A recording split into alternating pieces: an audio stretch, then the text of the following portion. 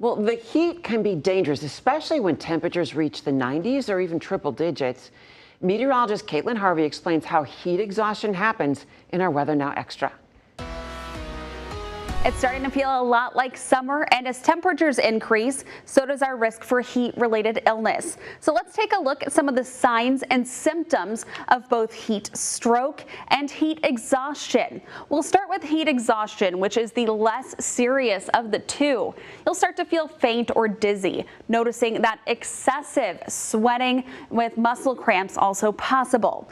To treat heat exhaustion, get to a cool place, drink water, sip on it if you can, or take a cool shower, use a cold compress. Now, what is life-threatening? Heat stroke, and this happens if heat exhaustion is not treated.